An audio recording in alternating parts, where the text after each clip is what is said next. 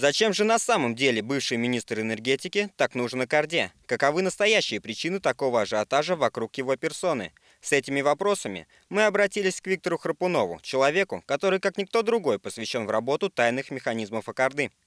Страх Назарбаева перед единственным человеком, личностью, который может помешать сегодня Назарбаеву, который сам уже почувствовал, что его биологические часы Э, подходят, наверное, к какому-то определенному э, моменту, когда необходимо уходить с политической арены, поскольку хочешь ты не хочешь, а все равно наступает тот момент, когда ты должен расстаться с властью и расстаться с политикой. Предполагаемая нейтрализация Облязова, по мысли Виктора Храпунова, позволит Назарбаеву реализовать идею преемника. Поскольку вся экономика Казахстана сегодня Э, захвачена именно Назарбаевым членами его семьи. А любая экономика – это есть э, кровеносная система любой политической власти. И поэтому Назарбаев принимает решение, в моем понимании, принимает решение о назначении преемника власти, а э, Аблязов Мухтар является той силой, которая способна оказать мощное содействие на будущего преемника, который э, не справится с теми функциями и задачами, которые возлагает на него сегодня Назарбаев. Вот для чего нужен противник, главный противник Назарбаева, Мухтар Аблязов, сегодня Суперхану Назарбаеву. Он его должен либо нейтрализовать, либо уничтожить вообще, стереть с лица земли, чтобы он не мешал проведению дальнейшей политики. В настоящее время самое главное для Назарбаева – заручиться поддержкой международного окружения. Именно этим, по мнению Храпунова, объясняется география последних визитов президента Казахстана. Посмотрите, его визит э, в Азербайджан, встреча с Алиевым, встреча с президентом Кыргызстана, э, встреча с президентом Турции, э, его приезд неожиданный в Сочи, не одно средство массовой информации не анонсировало возможный приезд Назарбаева в Сочи, и вдруг он появляется рядом с Путиным и с Медведевым, и так долго находится рядом с Путиным, что вызвало, конечно, удивление у многих и многих людей.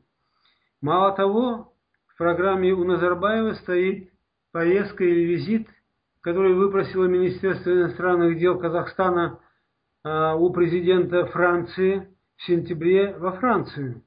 И всем ясно и понятно, для чего он туда едет. Почувствовав, что политическая система Франции оказывает определенное, причем очень существенное влияние на принятие судебных решений, э, Назарбаев напросился на э, официальный визит Казахстана в Францию. И что он сегодня везет или будет вести новому президенту Франции. Когда в прошлом году прошла маленькая заметка, что Нурсултан Назарбаев или президент Франции встретился очень коротко с Нурсултаном Назарбаевым, мне позвонили из Парижа и сказали, встреча длилась всего 30 минут максимум и была довольно-таки холодной. Я порадовался, что вектор отношений между Казахстаном и Францией начинает приобретать Э, то направление, которое необходимо для двух государств, исключив личностные взаимоотношения между президентами.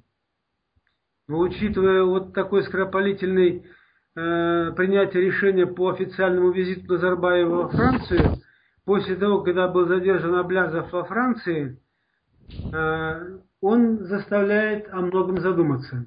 И если вспомнить дальше, э, когда Саркози предложил Назарбаеву ни много ни мало, а 49 боевых вертолетов, которых во Франции в вооруженных силах всего 19 вертолетов имеется таких.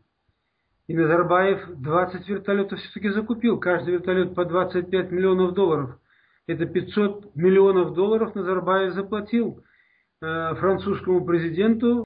Ведь это же не просто так. Это же э, политический клуб сработал отстегивание определенных кусочков экономики Казахстана тому или иному государству или тому или иному политическому лидеру той или иной компании того или иного государства, позволяет сегодня этому хитрому лису, я бы так сказал, э, пока притворять свою политику в жизнь. Какова же задача Суперхана Назарбаева? Физическое устранение Облязова, уверен Виктор Храпунов. Я твердо убежден, что стоит задача э, устранения, физическое устранение Облязова, э, так как он мешает сегодня Нурсултану Назарбаеву, который сегодня хочет доказать, что любого человека в любой стране он достанет и сделает с ним все, что он пожелает. Нельзя ни в коем случае это допускать.